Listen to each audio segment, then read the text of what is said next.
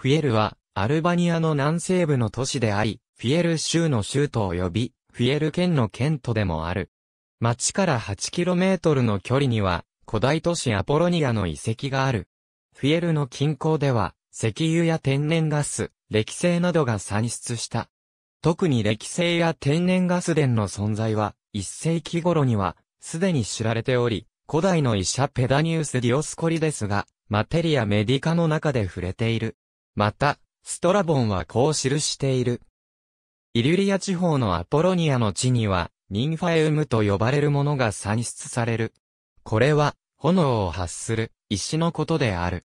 また、その石の下からは歴星を含む熱水の温泉が出る。歴星は、アポロニア近郊の丘陵で採掘される。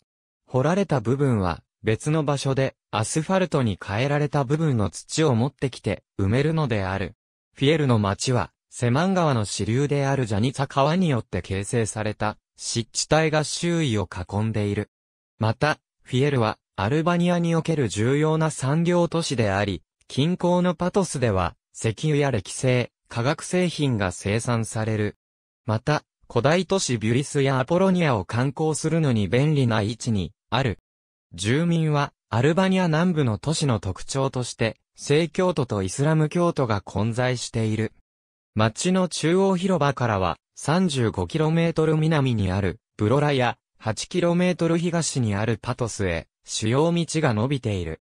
また、1995年12月20日にはアルバニア発のケーブルテレビであるアバンがフィエルに設立されたパトスの集落。ありがとうございます。